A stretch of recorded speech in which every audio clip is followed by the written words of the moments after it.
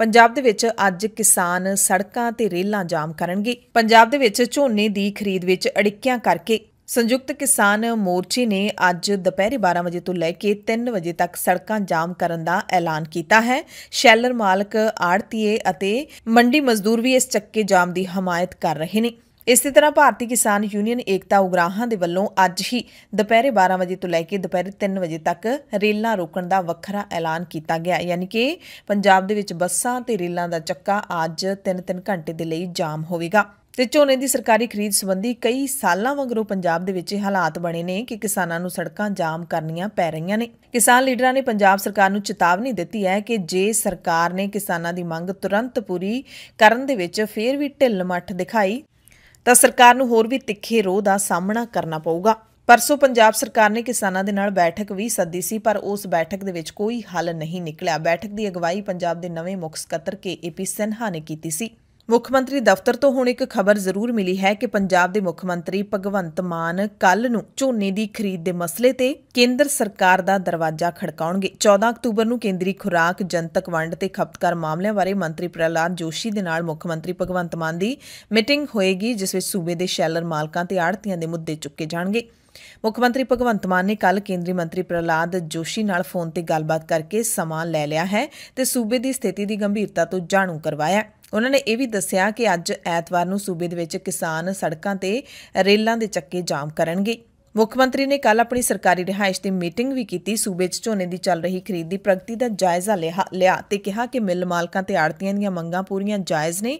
ਕੇਂਦਰ ਸਰਕਾਰ ਨੂੰ ਹਮਦਰਦੀ ਨਾਲ ਇਹਨਾਂ ਮੰਗਾਂ ਤੇ ਗੌਰ ਕਰਨੀ ਚਾਹੀਦੀ ਹੈ। ਸੀਐਮਆਰ ਨੇ ਇਹ ਵੀ ਜਾਣਕਾਰੀ ਲਈ ਕਿ ਕਿਸਾਨਾਂ ਨੂੰ ਜਿਣਸ ਦੇ ਲਈ ਸਮੇਂ ਸਿਰ ਅਦਾਇਗੀ ਕੀਤੀ ਜਾ ਰਹੀ ਹੈ ਤੇ ਮੰਡੀਆਂ ਦੇ ਵਿੱਚ ਚੱਲ ਰਹੀ ਖਰੀਦ ਅਤੇ ਲਿਫਟਿੰਗ ਹੈ ਜਿਹੜੀ ਉਹ ਕਿੰਨੀ ਕੁ ਸੁਚਾਰੂ ਢੰਗ ਨਾਲ ਚੱਲ ਰਹੀ ਹੈ। ਉਸ ਤੋਂ ਬਾਅਦ ਸੀਐਮਆਰ ਨੇ ਦਾਅਵਾ ਕੀਤਾ ਕਿ ਮੰਡੀਆਂ ਦੇ ਵਿੱਚ ਝੋਨੇ ਦੀ ਖਰੀਦ ਦੇ ਪੁਖਤਾ ਪ੍ਰਬੰਧ ਸਰਕਾਰ ਦੇ ਵੱਲੋਂ ਕੀਤੇ ਗਏ ਨੇ, ਜਿਸ ਦੀ ਨਿਗਰਾਨੀ ਉਹ ਸਮੇਂ-ਸਮੇਂ ਤੇ ਖੁਦ ਕਰ ਰਹੇ ਨੇ। ਪੰਜਾਬ ਦੇ ਵਿੱਚ ਹੁਣ ਜਿਹੜੇ ਵੀ ਅਧਿਕਾਰੀ ਪਰਾਲੀ ਸਾੜਨ ਤੇ ਪਾਬੰਦੀਆਂ ਨੂੰ ਲਾਗੂ ਕਰਨ ਦੇ ਵਿੱਚ ਅਸਫਲ ਰਹਿਣਗੇ, ਉਹਨਾਂ ਦੇ ਖਿਲਾਫ ਕਾਰਵਾਈ ਹੋਵੇਗੀ। ਪਾਬੰਦੀਆਂ ਦੇ ਹੁਕਮ ਕੇਂਦਰ ਦੇ ਹਵਾ ਗੁਣਵੱਤਾ ਪ੍ਰਬੰਧਨ ਕਮਿਸ਼ਨ, ਯਾਨੀ ਕਿ ਸੀਏਕਿਊਐਮ ਨੇ ਦਿੱਲੀ, ਪੰਜਾਬ, ਹਰਿਆਣਾ ਤੇ ਕੌਮੀ ਰਾਜਧਾਨੀ ਖੇਤਰ ਦੇ ਵਿੱਚ ਪਰਾਲੀ ਸਾੜਨ ਤੇ ਪਾਬੰਦੀਆਂ ਨੂੰ ਲਾਗੂ ਕਰਨ 'ਚ ਅਸਫਲ ਰਹਿਣ ਵਾਲੇ ਅਧਿਕਾਰੀਆਂ ਦੇ ਲਈ ਜਾਰੀ ਕੀਤੇ ਨੇ। ਅਜਿਹੇ ਅਧਿਕਾਰੀਆਂ ਦੇ ਖਿਲਾਫ ਕਾਨੂੰਨੀ ਕਾਰਵਾਈ ਕਰਨ ਦੇ ਲਈ ਜ਼ਿਲ੍ਹਾ ਮੈਜਿਸਟ੍ਰੇਟਾਂ ਨੂੰ ਸ਼ਕਤੀਆਂ ਦੇ ਦਿੱਤੀਆਂ ਗਈਆਂ ਨੇ। ਹਵਾ ਪ੍ਰਦੂਸ਼ਣ ਰੋਕਣ ਲਈ ਰਣਨੀਤੀ ਤਿਆਰ ਕਰਨ ਵਾਲੀ ਸੰਸਥਾ ਨੇ ਕਿਹਾ ਕਿ 15 ਸਤੰਬਰ ਤੋਂ 9 ਅਕਤੂਬਰ ਤੱਕ ਪੰਜਾਬ ਦੇ ਵਿੱਚ 267 ਹਰਿਆਣੇ 'ਚ 187 ਪਰਾਲੀ ਸਾੜਨ ਦੇ ਮਾਮਲੇ ਸਾਹਮਣੇ ਆ ਚੁੱਕੇ ਨੇ, ਜਿਸ ਨਾਲ ਨਜਿੱਠਣ ਤੇ ਜ਼ਮੀਨੀ ਪੱਧਰ ਤੇ ਕਮਿਸ਼ਨ ਦੀਆਂ ਯੋਜਨਾਵਾਂ ਨੂੰ ਲਾਗੂ ਕਰਨ ਦੇ ਲਈ ਸੀਏਕਿਊਐਮ ਨੇ ਪੰਜਾਬ, ਹਰਿਆਣਾ, ਦਿੱਲੀ, ਰਾਜਸਥਾਨ ਤੇ ਯੂਪੀ ਦੇ ਐਨਸੀਆਰ ਖੇਤਰਾਂ ਦੇ ਡਿਪਟੀ ਕਮਿਸ਼ਨਰਾਂ, ਜ਼ਿਲ੍ਹਾ ਕਲੈਕਟਰਾਂ, ਜ਼ਿਲ੍ਹਾ ਮੈਜਿਸਟ੍ਰੇਟਾਂ ਨੂੰ ਕਿਹਾ ਹੈ ਕਿ ਅਸਫਲ ਅਧਿਕਾਰੀਆਂ ਦੇ ਖਿਲਾਫ ਜੁਡੀਸ਼ੀਅਲ ਮੈਜਿਸਟ੍ਰੇਟ ਦੇ ਕੋਲ ਸ਼ਿਕਾਇਤ ਦਰਜ ਕਰਵਾਈ ਜਾਵੇ। ਪੰਜਾਬ ਭਰ ਦੇ ਵਿੱਚ ਅੱਜ ਪੰਚਾਇਤੀ ਚੋਣਾਂ ਦਾ ਪ੍ਰਚਾਰ ਸ਼ਾਮ ਨੂੰ 5 ਵਜੇ ਤੱਕ ਥੰਮ ਜਾਵੇਗਾ। ਪਰਸੋਂ 15 ਅਕਤੂਬਰ ਨੂੰ ਵੋਟਾਂ ਪੈਣਗੀਆਂ। ਤੇ ਪ੍ਰਚਾਰ ਥਮਣ ਤੋਂ ਬਾਅਦ ਸਾਰੇ ਉਮੀਦਵਾਰ ਆਪੋ ਆਪਣੇ ਹੱਕ ਦੇ ਵਿੱਚ ਡੋਰ ਟੂ ਡੋਰ ਯਾਨੀ ਕਿ ਘਰੋਂ ਘਰੀ ਜਾ ਕੇ ਪ੍ਰਚਾਰ ਜ਼ਰੂਰ ਕਰ ਸਕਦੇ ਨੇ, ਵੋਟਾਂ ਮੰਗ ਸਕਦੇ ਨੇ, ਪਰ ਚਾਰ ਜਣਿਆਂ ਤੋਂ ਵੱਧ ਇਕੱਠ ਨਹੀਂ ਬੰਨਿਆ ਜਾ ਸਕਦਾ। ਚੋਣ ਕਮਿਸ਼ਨ ਦੀਆਂ ਹਦਾਇਤਾਂ ਦੇ ਮੁਤਾਬਿਕ ਵੋਟਾਂ ਬੈਲਟ ਪੇਪਰ ਰਾਹੀਂ ਪਾਈਆਂ ਜਾਣਗੀਆਂ ਤੇ ਉਸ ਤੋਂ ਬਾਅਦ ਸ਼ਾਮ ਨੂੰ ਜਦੋਂ ਵੋਟਾਂ ਦੀ ਗਿਣਤੀ ਹੋਵੇਗੀ 15 ਅਕਤੂਬਰ ਨੂੰ ਹੀ, ਤਾਂ ਸਾਰੇ ਕਿਤੇ ਵੀਡੀਓਗ੍ਰਾਫੀ ਕਰਵਾਈ ਜਾਵੇਗੀ। ਇਸ ਦੇ ਲਈ ਹਰ ਜ਼ਿਲ੍ਹੇ ਦੇ ਮੁੱਖ ਚੋਣ ਅਧਿਕਾਰੀ ਨੂੰ ਹੁਕਮ ਜਾਰੀ ਕਰ ਦਿੱਤੇ ਗਏ ਨੇ। ਬਾਕੀ ਜਿਹੜੀਆਂ ਚੋਣਾਂ ਹੁੰਦੀਆਂ ਨੇ ਵਿਧਾਨ ਸਭਾ ਜਾਂ ਲੋਕ ਸਭਾ, ਉਹਨਾਂ ਨੂੰ ਜੇ ਦੇਖਿਆ ਜਾਵੇ ਤਾਂ ਚੋਣ ਪ੍ਰਚਾਰ ਥੰਮਣ ਤੋਂ ਬਾਅਦ ਇੱਕਦਮ ਸ਼ਾਂਤੀ ਪਸਰ ਜਾਂਦੀ ਹੁੰਦੀ ਹੈ। ਜਿਹੜੇ ਉਮੀਦਵਾਰ ਹੁੰਦੇ ਨੇ, ਉਹ ਆਪਣੇ ਪੂਰੇ ਹਲਕੇ ਦੇ ਵਿੱਚ ਕੁਝ ਨਾ ਕੁਝ ਥਾਵਾਂ ਤੇ ਤਾਂ ਜ਼ਰੂਰ ਜਾ ਸਕਦੇ ਨੇ, ਪਰ ਪੂਰਾ ਹਲਕਾ ਨਹੀਂ ਕਵਰ ਕਰ ਸਕਦੇ ਹੁੰਦੇ। ਪਰ ਜਦੋਂ ਪਿੰਡਾਂ ਦੀ ਸਰਕਾਰ ਚੁਣੀ ਜਾਂਦੀ ਹੈ, ਤਾਂ ਚੋਣ ਪ੍ਰਚਾਰ ਥਮਣ ਤੋਂ ਬਾਅਦ ਦਾ ਮਾਹੌਲ ਕੁਝ ਹੋਰ ਹੁੰਦਾ ਹੈ। ਇਹ ਮਾਹੌਲ ਪਿੰਡਾਂ ਦੇ ਵਿੱਚ ਸਭ ਤੋਂ ਵੱਧ ਨਾਜ਼ੁਕ ਹੁੰਦਾ ਹੈ। ਜਿਹੜੇ ਪਿੰਡਾਂ ਦੇ ਵਿੱਚ ਰਹਿੰਦੇ ਨੇ, ਉਹਨਾਂ ਨੂੰ ਇਸ ਗੱਲ ਦਾ ਭਲੀ ਭਾਂਤੀ ਪਤਾ ਹੈ। ਕਿਉਂਕਿ ਪ੍ਰਚਾਰ ਥਮਣ ਤੋਂ ਬਾਅਦ ਜਿਹੜੇ ਘੰਟੇ ਚੋਣਾਂ ਦੇ ਵਿੱਚ ਬਚ ਜਾਂਦੇ ਨੇ, ਉਹਨਾਂ ਦੇ ਵਿੱਚ ਗੜਬੜੀ ਦਾ ਪੂਰਾ ਖਦਸ਼ਾ ਹੁੰਦਾ ਹੈ। ਕਈ ਕਈ ਥਾਵਾਂ ਤੇ ਤਾਂ ਗੜਬੜੀ ਹੁੰਦੀ ਵੀ ਹੈ। ਯਾਨੀ ਕਿ ਜਿਹੜੀਆਂ ਧਿਰਾਂ ਚੋਣ ਮੈਦਾਨ ਦੇ ਵਿੱਚ ਨਿਤਰੀਆਂ ਹੁੰਦੀਆਂ ਨੇ ਉਹਨਾਂ ਦੇ ਵੱਲੋਂ ਇੱਕ ਦੂਸਰੇ ਨੂੰ ਘੇਰ ਕੇ ਉਸ ਤੇ ਹਮਲਾ ਕਰਨਾ, ਵੋਟਰਾਂ ਨੂੰ ਪ੍ਰਭਾਵਿਤ ਕਰਨਾ ਜਾਂ ਹੋਰ ਕਈ ਤਰ੍ਹਾਂ ਦੇ ਹੱਥ ਕੰਡੇ ਅਪਣਾਏ ਜਾਂਦੇ ਨੇ ਤੇ ਮਾਹੌਲ ਪੂਰੀ ਤਰ੍ਹਾਂ ਦੇ ਨਾਲ ਪਿੰਡਾਂ ਵਿੱਚ ਗਰਮ ਹੁੰਦਾ ਹੈ। ਕਿਉਂਕਿ ਚੋਣ ਲੜਨ ਵਾਲੇ ਸਾਰੇ ਹੀ ਉਮੀਦਵਾਰ ਇੱਕ ਪਿੰਡ ਦੇ ਵਿੱਚ ਹੀ ਰਹਿੰਦੇ ਹੁੰਦੇ ਨੇ ਤੇ ਕਈ ਪਿੰਡ ਤਾਂ ਬਹੁਤ ਛੋਟੇ ਹੁੰਦੇ ਨੇ, ਕਈ ਬਹੁਤ ਵੱਡੇ ਹੁੰਦੇ ਨੇ। ਸੋ ਅਸੀਂ ਪੰਚਾਇਤੀ ਚੋਣਾਂ ਦੇ ਸਾਰੇ ਵੋਟਰਾਂ ਨੂੰ ਅਪੀਲ ਕਰਦੇ ਹਾਂ, ਸਾਰੇ ਪਿੰਡ ਵਾਸੀਆਂ ਨੂੰ ਅਪੀਲ ਕਰਦੇ ਹਾਂ ਕਿ ਮਾਹੌਲ ਸ਼ਾਂਤ ਬਣਾ ਕੇ ਰੱਖਿਆ ਜਾਵੇ, ਆਪਸੀ ਭਾਈਚਾਰਾ ਕਾਇਮ ਰੱਖਿਆ ਜਾਵੇ, ਕਿਉਂਕਿ ਵੋਟਾਂ ਤਾਂ ਆਉਂਦੀਆਂ ਜਾਂਦੀਆਂ ਰਹਿੰਦੀਆਂ ਨੇ। ਚੋਣਾਂ ਨੂੰ ਲੈ ਕੇ ਪੰਜਾਬ ਹਰਿਆਣਾ ਹਾਈ ਕੋਰਟ ਤੋਂ ਬਾਅਦ ਪੰਜਾਬ ਰਾਜ ਚੋਣ ਕਮਿਸ਼ਨ ਨੇ ਵੀ ਹੁਣ ਵੱਡਾ ਫੈਸਲਾ ਲਿਆ ਹੈ। ਗਿੱਦੜਬਾਹਾ ਦੇ ਜਿਹੜੇ ਵੀ ਪਿੰਡਾਂ ਦੇ ਵਿੱਚ ਨਾਮਜ਼ਦਗੀ ਪਰਚੇ ਧੱਕੇ ਦੇ ਨਾਲ ਰੱਦ ਹੋਣ ਵਰਗੀਆਂ ਸ਼ਿਕਾਇਤਾਂ ਮਿਲੀਆਂ ਸਨ, ਉਹਨਾਂ ਵੀ ਪਿੰਡਾਂ ਦੀ ਚੋਣ ਤੇ ਰੋਕ ਲਾ ਦਿੱਤੀ ਗਈ ਹੈ। ਨਵੇਂ ਸਿਰੇ ਤੋਂ ਇੱਥੇ ਚੋਣਾਂ ਦੇ ਲਈ ਸ਼ਡਿਊਲ ਜਾਰੀ ਕੀਤਾ ਜਾਊਗਾ। ਯਾਨੀ ਕਿ ਹੁਣ 15 ਅਕਤੂਬਰ ਨੂੰ ਪਰਸੋਂ ਨੂੰ ਇਹਨਾਂ ਪਿੰਡਾਂ ਦੇ ਵਿੱਚ ਪੰਚਾਇਤਾਂ ਦੀ ਚੋਣ ਨਹੀਂ ਹੋਵੇਗੀ। ਚੋਣ ਕਮਿਸ਼ਨ ਨੇ 7 ਸੀਨੀਅਰ ਅਫਸਰਾਂ ਨੂੰ ਵੀ ਤਲਬ ਕਰ ਲਿਆ। ਹਾਲਾਂਕਿ ਉਹਨਾਂ ਨੇ ਕਿਸੇ ਵੀ ਗੜਬੜ ਤੋਂ ਇਨਕਾਰ ਕੀਤਾ ਹੈ। ਜਿਹੜੇ ਪਿੰਡਾਂ ਦੇ ਵਿੱਚ ਚੋਣ ਰੱਦ ਕੀਤੀ ਹੈ ਉਹਨੇ ਆਸਾ ਬੁੱਟਰ, ਡੱਡੂ ਮਹੱਲਾ, ਮੱਲਣ, ਖਿੜਕੀਆਂ ਵਾਲਾ, ਵਾੜਾ, ਕਿਸ਼ਨਪੁਰਾ, ਲੋਹਾਰਾ, ਬੁੱਟਰ ਸਿੰਘ ਕੋਠੇ ਹਜ਼ੂਰੀ ਵਾਲਾ ਕੋਠੇ ਢਾਬਾ, ਕੋਠੇ ਕੇਸਰ ਸਿੰਘ ਵਾੜਾ, ਭਾਰੂ, ਦੌਲਾ, ਕੋਠੇ ਸਿੰਘ ਹਿੰਮਤਪੁਰਾ, ਭੁੰਦੜ ਲੁੰਡੇ ਵਾਲਾ ਸਮਾਗ ਮਨੀਆਂ ਵਾਲਾ ਸੇਖਾ, ਖੁੰਨਣ, ਖੁਰਦ, ਮਧੀਰ ਤੇ ਬੁੱਟਰ ਬਖੂਆਂ। ਇਹਨਾਂ ਪਿੰਡਾਂ ਵਿੱਚ ਸਰਪੰਚ ਦੀ ਚੋਣ ਲੜਨ ਵਾਲੇ ਦੋ ਦਰਜਨ ਉਮੀਦਵਾਰਾਂ ਨੇ ਕਮਿਸ਼ਨ ਦੇ ਕੋਲੇ ਪਹੁੰਚ ਕੀਤੀ ਸੀ ਤੇ ਤੋਂ ਪਹਿਲਾਂ ਪੰਜਾਬ ਤੇ ਹਰਿਆਣਾ ਹਾਈ ਕੋਰਟ ਨੇ 250 ਪੰਚਾਇਤਾਂ ਦੀ ਚੋਣ ਤੇ ਰੋਕ ਲਾ ਦਿੱਤੀ ਸੀ। ਉਸ ਤੋਂ ਬਾਅਦ ਤਿੰਨ ਹੋਰ ਜ਼ਿਲ੍ਹਿਆਂ ਦੇ ਵਿੱਚ ਕੁਝ ਪਿੰਡਾਂ ਤੇ ਚੋਣਾਂ ਪਿੰਡਾਂ ਦੀਆਂ ਚੋਣਾਂ ਤੇ ਰੋਕ ਲਾਈ ਗਈ ਤੇ ਕੱਲ 14 ਅਕਤੂਬਰ ਨੂੰ ਪੰਜਾਬ ਹਰਿਆਣਾ ਹਾਈ ਕੋਰਟ ਦੇ ਵਿੱਚ ਪਹੁੰਚੀਆਂ ਅਣਗਿਣਤ ਪਟੀਸ਼ਨਾਂ ਤੇ ਫਿਰ ਸੁਣਵਾਈ ਹੋਵੇਗੀ। ਪੰਜਾਬ ਸਰਕਾਰ ਨੇ ਵੀ ਚੋਣਾਂ ਰੱਦ ਕੀਤੇ ਜਾਣ ਦੇ ਫੈਸਲੇ ਖਿਲਾਫ ਪਟੀਸ਼ਨ ਪਾਈ ਹੈ। ਉਸ ਤੇ ਅਦਾਲਤ ਨੇ 16 ਅਕਤੂਬਰ ਨੂੰ ਸੁਣਵਾਈ ਤੈਅ ਕੀਤੀ ਹੈ। ਚੋਣ ਕਮਿਸ਼ਨ ਦੇ ਇਸ ਫੈਸਲੇ ਦਾ ਪੰਜਾਬ ਕਾਂਗਰਸ ਦੇ ਪ੍ਰਧਾਨ ਤੇ ਐਮਪੀ ਅਮਰਿੰਦਰ ਸਿੰਘ ਰਾਜਾ ਵੜਿੰਗ ਨੇ ਸਵਾਗਤ ਕੀਤਾ ਹੈ ਤੇ ਆਪਣੇ ਵਰਕਰਾਂ ਨੂੰ ਸੁਨੇਹਾ ਘੱਲਦਿਆਂ ਕਿਹਾ ਕਿ ਅਸੀਂ ਵੱਡੀ ਲੜਾਈ ਜਿੱਤ ਲਈ ਹੈ, ਧੱਕੇਸ਼ਾਹੀ ਦਾ ਅੰਤ ਹੋਇਆ ਹੈ। ਇਸੇ ਤਰ੍ਹਾਂ ਸ਼੍ਰੋਮਣੀ ਅਕਾਲੀ ਦਲ ਦੇ ਪ੍ਰਧਾਨ ਸੁਖਬੀਰ ਸਿੰਘ ਬਾਦਲ ਨੇ ਵੀ ਚੋਣ ਕਮਿਸ਼ਨ ਦੇ ਫੈਸਲੇ ਦਾ ਸਵਾਗਤ ਕਰਦਿਆਂ ਕਿਹਾ ਕਿ ਲੋਕ ਰਾਜ ਦਾ ਸੱਤਾਧਾਰੀ ਧਿਰ ਨੇ ਧਿਰ ਨੇ ਕਤਲ ਕੀਤਾ ਸੀ, ਪਰ ਅਕਾਲੀ ਦਲ ਨੇ ਲੋਕ ਰਾਜ ਦੀ ਬਹਾਲੀ ਲਈ ਆਵਾਜ਼ ਬੁਲੰਦ ਕੀਤੀ ਸੀ। ਇਸ ਦੇ ਨਤੀਜੇ ਵਜੋਂ ਹੀ ਚੋਣ ਕਮਿਸ਼ਨ ਨੇ ਫੈਸਲਾ ਲਿਆ ਤੇ ਅਕਾਲੀ ਦਲ ਆਪਣੀ ਲੜਾਈ ਜਾਰੀ ਰੱਖੂਗਾ। ਦਰਅਸਲ ਕਾਂਗਰਸ ਅਤੇ ਅਕਾਲੀ ਦਲ ਦੋਵਾਂ ਨੇ 2 ਦਿਨ ਲਗਾਤਾਰ ਮੁਕਸਰ ਸਾਹਿਬ ਤੇ ਗਿੱਦੜਬਾਹਾ ਦੇ ਵਿੱਚ ਵੱਖੋ ਵੱਖਰੇ ਤਰੀਕੇ ਨਾਲ ਧਰਨੇ ਲਾਏ ਸੀ। ਹਾਲਾਂਕਿ ਜਿਹੜੇ ਪਿੰਡ ਖਿੜਕੀਆਂ ਵਾਲਾ ਦੇ ਵਿੱਚ ਵੀ ਚੋਣ ਰੱਦ ਕੀਤੀ ਗਈ ਹੈ, ਉੱਥੋਂ ਦੇ ਇੱਕ ਵਿਅਕਤੀ ਨੇ ਰਾਜਾ ਵੜਿੰਗ ਤੇ ਉਲਟਾ ਇਲਜ਼ਾਮ ਲਾ ਦਿੱਤਾ ਸੀ ਕਿ ਕਿਸੇ ਨਾਲ ਵੀ ਕਾਗਜ਼ ਰੱਦ ਕਰਨ ਦੇ ਵਿੱਚ ਧੱਕੇਸ਼ਾਹੀ ਨਹੀਂ ਹੋਈ। ਸਾਰੇ ਉਮੀਦਵਾਰਾਂ ਨੇ ਆਪਣੀ ਮਰਜ਼ੀ ਨਾਲ ਕਾਗਜ਼ ਵਾਪਸ ਚੁੱਕੇ ਨੇ। ਪੰਚਾਇਤੀ ਚੋਣਾਂ ਦੇ ਵਿੱਚ ਐਤਕੀ ਬੈਲਟ ਪੇਪਰ ਤੇ ਪਹਿਲੀ ਵਾਰੀ ਨੋਟਾ ਦਾ ਕਾਲਮ ਛਾਪਿਆ ਜਾਊਗਾ। ਇਸ ਤਹਿਤ ਨਾਭਾ ਦੇ ਵਕੀਲ ਨੇ ਹਾਈ ਕੋਰਟ 'ਚ ਪਟੀਸ਼ਨ ਦਾਇਰ ਕਰਕੇ ਮੰਗ ਕੀਤੀ ਸੀ ਕਿ ਜਿੱਥੇ ਵੀ ਨੋਟਾ ਜਿੱਤੇ, ਉੱਥੇ ਚੋਣ ਦੁਬਾਰਾ ਕਰਵਾਈ ਜਾਵੇ, ਨਵੇਂ ਉਮੀਦਵਾਰਾਂ ਨੂੰ ਮੌਕਾ ਦਿੱਤਾ ਜਾਵੇ। ਜਿੱਥੇ ਬਿਨਾਂ ਵਿਰੋਧ ਤੋਂ ਉਮੀਦਵਾਰ ਨੂੰ ਜੇਤੂ ਐਲਾਨਿਆ ਜਾ ਰਿਹਾ ਹੈ ਉੱਥੇ ਉਮੀਦਵਾਰ ਤੇ ਨੋਟਾ ਵਿਚਾਲੇ ਚੋਣ ਕਰਵਾਈ ਜਾਣੀ ਚਾਹੀਦੀ ਹੈ। ਇਸ ਮਾਮਲੇ ਤੇ ਵੀ ਅਦਾਲਤ ਕੱਲ ਸੋਮਵਾਰ ਨੂੰ ਸੁਣਵਾਈ ਸੁਣਵਾਈ ਕਰੇਗੀ।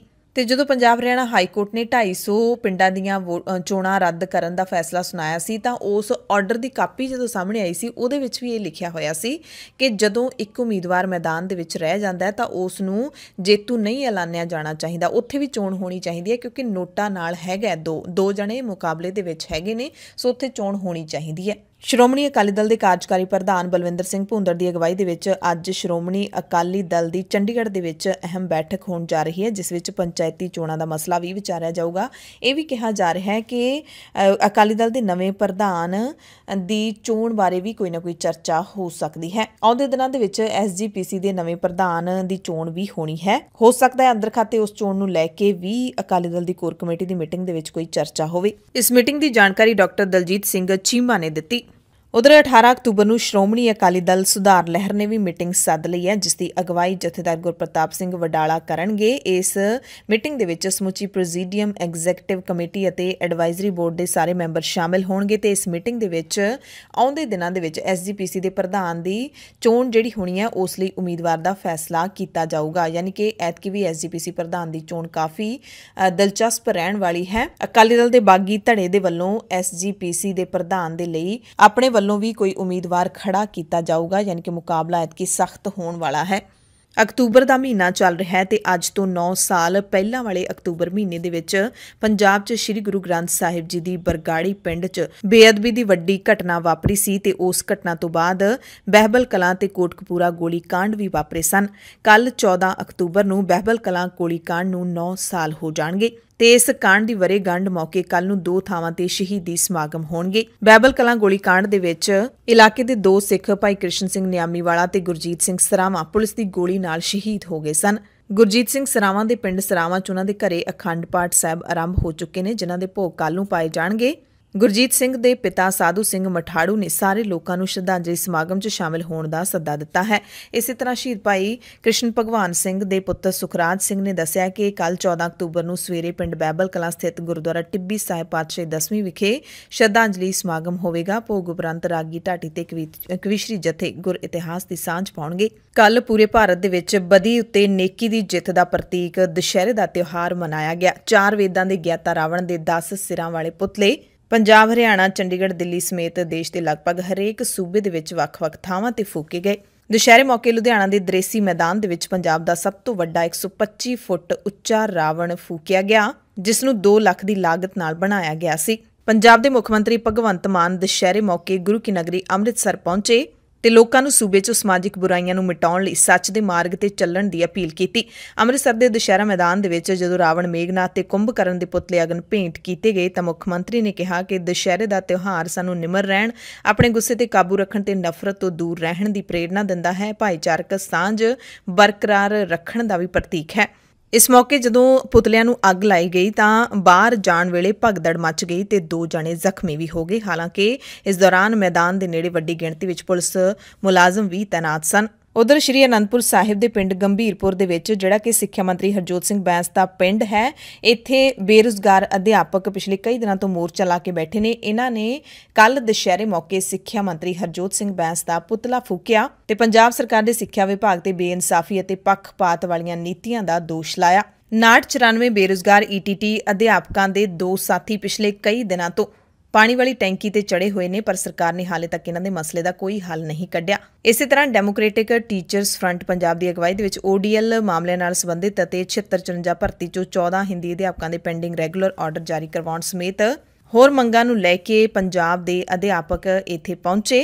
ਗੰਭੀਰਪੁਰ ਦੇ ਨੇੜਲੇ ਪਿੰਡ ਢੇਰ ਤੋਂ ਇਹਨਾਂ ਨੇ ਗੰਭੀਰਪੁਰ ਪਿੰਡ ਤੱਕ ਰੋਸ ਮਾਰਚ ਕੱਢਿਆ ਤੇ ਸਿੱਖਿਆ ਮੰਤਰੀ ਦਾ ਇਹਨਾਂ ਨੇ ਵੀ ਪੁਤਲਾ ਫੂਕਿਆ। ਪ੍ਰਸ਼ਾਸਨ ਨੇ ਸਿੱਖਿਆ ਮੰਤਰੀ ਨਾਲ ਇਹਨਾਂ ਦੀ 21 ਅਕਤੂਬਰ ਦੀ ਮੀਟਿੰਗ ਤੈਅ ਕਰਵਾਈ ਹੈ, ਜਿਸ ਤੋਂ ਬਾਅਦ ਡੀਟੀਐਫ ਨੇ ਧਰਨੇ ਦੀ ਸਮਾਪਤੀ ਦਾ ਐਲਾਨ ਕਰ ਦਿੱਤਾ, ਪਰ ਦੂਸਰਾ ਧਰਨਾ ਹਾਲੇ ਚੱਲ ਰਿਹਾ ਹੈ। ਕੱਲ ਦੁਸ਼ਹਿਰੇ ਵਾਲੀ ਸ਼ਾਮ ਨੂੰ ਮਹਾਰਾਸ਼ਟਰ ਦੇ ਵਿੱਚ ਵੱਡੀ ਵਾਰਦਾਤ ਵਾਪਰੀ ਹੈ। ਐਨਸੀਪੀ ਦੇ ਲੀਡਰ ਬਾਬਾ ਸਿੱਦੀਕੀ ਨੂੰ ਗੋਲੀਆਂ ਮਾਰ ਕੇ ਖਤਮ ਕਰ ਦਿੱਤਾ ਗਿਆ। ਮਹਾਰਾਸ਼ਟਰ ਦੇ ਸਾਬਕਾ ਮੰਤਰੀ ਤੇ ਰਾਸ਼ਟਰਵਾਦੀ ਕਾਂਗਰਸ ਪਾਰਟੀ ਦੇ ਲੀਡਰ ਬਾਬਾ ਜ਼ਿਆਉਦੀਨ ਸਿੱਦੀਕੀ ਉਰਫ ਬਾਬਾ ਸਿੱਦੀਕੀ ਨੂੰ ਸ਼ਾਮ ਨੂੰ ਮੁੰਬਈ ਦੇ ਬਾਂਦਰਾ ਪੂਰਬੀ ਇਲਾਕੇ ਵਿੱਚ ਦੋ, ਤਿੰਨ ਅਣਪਛਾਤੇ ਵਿਅਕਤੀਆਂ ਨੇ ਗੋਲੀਆਂ ਮਾਰ ਕੇ ਹੱਤਿਆ ਕਰ ਦਿੱਤੀ। ਪੁਲਿਸ ਨੇ ਦੱਸਿਆ ਕਿ ਵਾਰਦਾਤ ਤੋਂ ਬਾਅਦ ਮਹਾਰਾਸ਼ਟਰ ਦੇ ਸਾਬਕਾ ਮੰਤਰੀ ਸਿੱਦੀਕੀ ਨੂੰ ਨੇੜੇ ਦੇ ਲੀਲਾਵਤੀ ਹਸਪਤਾਲ ਦਾਖਲ ਕਰਵਾਇਆ ਗਿਆ, ਪਰ ਡਾਕਟਰਾਂ ਨੇ ਮ੍ਰਿਤਕ ਐਲਾਨ ਦਿੱਤਾ। ਐਨਸੀਪੀ ਲੀਡਰ ਸਿੱਦੀਕੀ ਤੇ ਹਮਲਾ ਨਿਰਮਲ ਨਗਰ ਚ ਕੋਲਗੇਟ ਗਰਾਊਂਡ ਨੇੜੇ ਉਹਨਾਂ ਦੇ ਵਿਧਾਇਕ ਪੁੱਤਰ ਜੀਸ਼ਾਨ ਸਿੱਦੀਕੀ ਦੇ ਦਫ਼ਤਰ ਦੇ ਮੂਹਰੇ ਕੀਤਾ ਗਿਆ। ਹਮਲਾਵਰਾਂ ਨੇ ਦੋ ਤੋਂ ਤਿੰਨ ਗੋਲੀਆਂ ਚਲਾਈਆਂ, ਜਿਨ੍ਹਾਂ ਦੇ ਵਿੱਚੋਂ ਇੱਕ ਗੋਲੀ ਸਿੱਦੀਕੀ ਦੀ ਛਾਤੀ ਵਿੱਚ ਵੱਜੀ। ਬਾਂਦਰਾ ਵੈਸਟ ਤੋਂ ਤਿੰਨ ਵਾਰੀ ਦੇ ਵਿਧਾਇਕ ਬਾਬਾ ਸਿੱਦੀਕੀ ਫਰਵਰੀ ਮਹੀਨੇ ਵਿੱਚ ਕਾਂਗਰਸ ਪਾਰਟੀ ਨੂੰ ਛੱਡ ਕੇ ਅਜੀਤ ਪਵਾਰ ਦੀ ਅਗਵਾਈ ਵਾਲੇ ਐਨਸੀਪੀ ਧੜੇ ਦੇ ਵਿੱਚ ਸ਼ਾਮਲ ਹੋ ਗਏ ਸਨ। ਇਸ ਵਾਰਦਾਤ ਤੋਂ ਬਾਅਦ ਮਹਾਰਾਸ਼ਟਰ ਦੇ ਮੁੱਖ ਮੰਤਰੀ ਏਕਨਾਥ ਸ਼ਿੰਦੇ ਨੇ ਪ੍ਰੈਸ ਕਾਨਫਰੰਸ ਕਰਕੇ ਬਾਬਾ ਸਿੱਦੀਕੀ ਦੇ ਦੇਹਾਂਤ ਦੀ ਪੁਸ਼ਟੀ ਕੀਤੀ। ਮੁੱਖ ਮੰਤਰੀ ਸ਼ਿੰਦੇ ਨੇ ਦੱਸਿਆ ਕਿ ਇਸ ਮਾਮਲੇ ਦੇ ਵਿੱਚ ਦੋ ਲੋਕਾਂ ਨੂੰ ਗ੍ਰਿਫਤਾਰ ਕਰ ਲਿਆ ਗਿਆ, ਇੱਕ ਫਰਾਰ ਹੈ। ਗ੍ਰਿਫਤਾਰ ਹੋਇਆ ਇੱਕ ਮੁਲਜ਼ਮ ਹਰਿਆਣਾ ਤੇ ਇੱਕ ਉੱਤਰ ਪ੍ਰਦੇਸ਼ ਦਾ ਹੈ। ਮੁੱਖ ਮੰਤਰੀ ਨੇ ਆਪਣੇ ਐਕਸ ਖਾਤੇ ਤੇ ਵੀ ਸ਼ਰਧਾਂਜਲੀ ਦਿੰਦਿਆਂ ਕਿਹਾ ਕਿ ਮੈਂ ਆਪਣਾ ਇੱਕ ਚੰਗਾ ਸਹਿਯੋਗੀ ਤੇ ਦੋਸਤ ਗਵਾ ਦਿੱਤਾ ਹੈ। ਇਸ ਕਾਇਰਤਾਪੂਰਨ ਹਮਲੇ ਦੀ ਮੈਂ ਸਖਤ ਨਿੰਦਿਆ ਕਰਦਾ ਹਾਂ ਤੇ ਬਾਬਾ ਸਿੱਦੀਕੀ ਨੂੰ ਭਾਪਿਨੀ ਸ਼ਰਧਾਂਜਲੀ ਭੇਂਟ ਕਰਦਾ।